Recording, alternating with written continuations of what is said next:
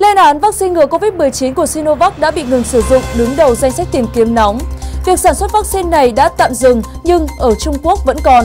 Vaccine Sinovac chỉ có hiệu quả 50,4%, khiến số lượng lớn bệnh nhân mắc bệnh bạch cầu và trẻ em mắc bệnh tiểu đường. Các nguồn tin cấp cao trong quân đội Đảng Cộng sản Trung Quốc tiết lộ làn sóng dịch bệnh này chính là Covid-19. Đặng Hiểu xin kính chào quý vị và các bạn đang theo dõi chương mục điểm nóng trên kênh DBC. Kính thưa quý vị, khi Trung Quốc đang trải qua làn sóng dịch bệnh ập tới, nhiều loại vaccine ở nước này đã ngừng sản xuất. Và thông tin như thế nào thì xin mời quý vị và các bạn chúng ta sẽ cùng bước vào nội dung chi tiết. Lên án vaccine ngừa COVID-19 của Sinovac đã bị ngừng sử dụng, đứng đầu danh sách tìm kiếm nóng. Thưa quý vị, liên tục có những tin tức tiêu cực về vaccine Sinovac COVID-19 của Trung Quốc.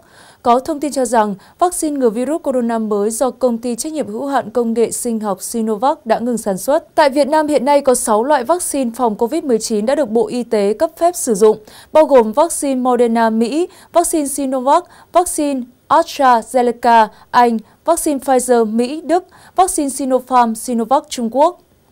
Vào ngày 10 tháng 1, một văn bản được công ty công nghệ sinh học Sinovac Trung vệ Bắc Kinh ký và đóng dấu về kế hoạch đình chỉ lượng hiệu suất cho các dự án COVID đã được lưu hành trực tuyến. Văn bản này được ký vào ngày 9 tháng 1.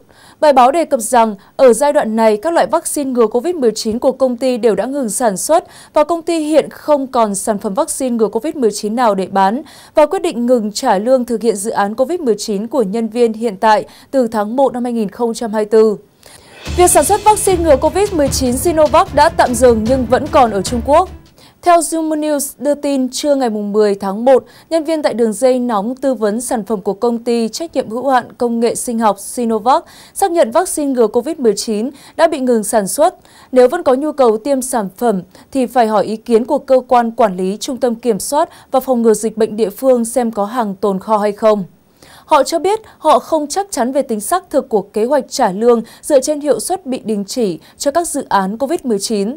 Một nhân viên của Trung tâm Dịch vụ Y tế Cộng đồng ở quận Tĩnh An, Thượng Hải cho biết, trung tâm dịch vụ này đã hết vaccine ngừa COVID-19 của Sinovac để tiêm từ lâu, nhưng hiện có sẵn vaccine ngừa COVID-19 do nhà sản xuất khác sản xuất.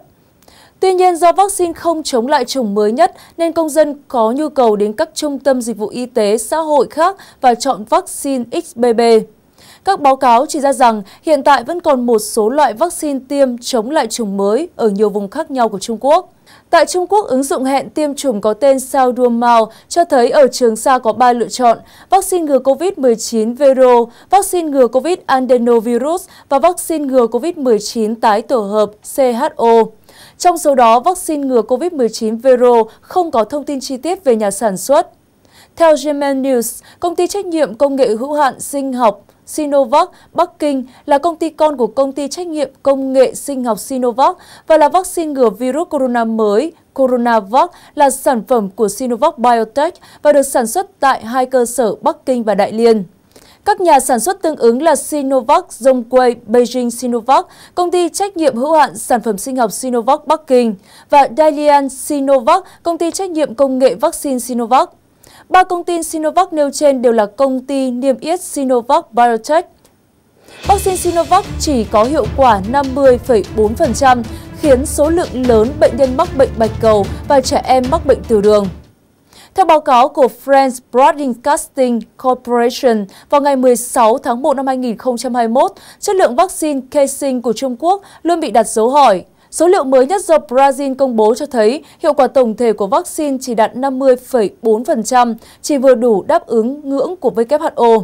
Theo báo cáo, nhiều người tại hãng hàng không Thượng Hải cảm thấy không khỏe sau khi được tiêm vaccine do Sinovac Biotech của Trung Quốc phát triển vào năm 2021.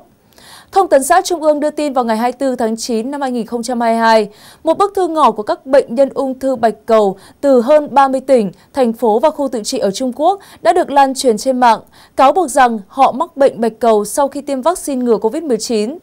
Đã có hàng nghìn trường hợp và vaccine được tiêm chủng, chủ yếu là Sinovac Biologics, còn lại bao gồm Beijing Biotech và ngoài ra còn có một bức thư ngỏ được ký bởi nhóm nạn nhân tiểu đường loại 1 Bài viết có tiêu đề hơn 1.000 trẻ em mắc bệnh tiểu đường loại 1 và cha mẹ chúng khóc lóc cầu cứu.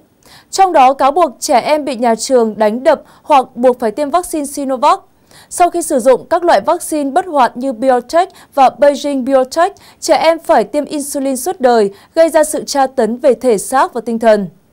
Theo Đài Á Châu Tự Do, chính sách tiêm chủng bắt buộc cho toàn dân của Trung Quốc đã mang lại cơ hội kinh doanh lớn cho các nhà sản xuất vaccine trá hình. Nhà kinh tế học Trung Quốc Peng Dingding cho biết có rất nhiều người đang phải vật lộn để kiếm tiền cho đất nước. Trên thực tế, điều đó là bắt buộc. Số tiền anh ta kiếm được thực ra là từ bảo hiểm. Nhà nước thanh toán hóa đơn nhưng thực tế là toàn bộ người dân thanh toán hóa đơn. Peng Dingding nói rằng ngoài vaccine, người dân phải tự bỏ tiền túi ra trả chi phí xét nghiệm axit nucleic và cách ly tại khách sạn. Truyền thông Anh tiết lộ Trung Quốc đang thử nghiệm virus corona mới trên chuột với tỷ lệ tử vong 100%. Thưa quý vị, Đảng Cộng sản Trung Quốc đã thử nghiệm một loại virus corona mới gây tử vong 100% cho chuột, khiến các chuyên gia lo ngại virus có thể lây nhiễm cho con người.